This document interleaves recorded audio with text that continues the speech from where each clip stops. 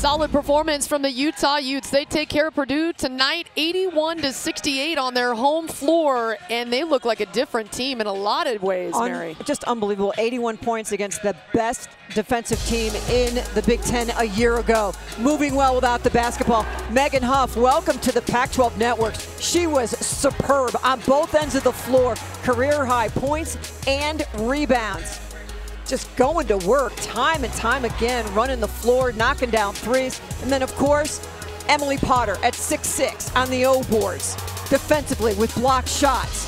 Moving well without the basketball and just staying with things despite some early foul trouble. And then you got Huff to Potter. What a dynamic duo that is. And then from distance, Provo. Moving well without the ball, knocking down threes, just doing a great job of being there for her teammates. I mean, what a team victory for Utah against Purdue. You mentioned team victory, three players in double figures.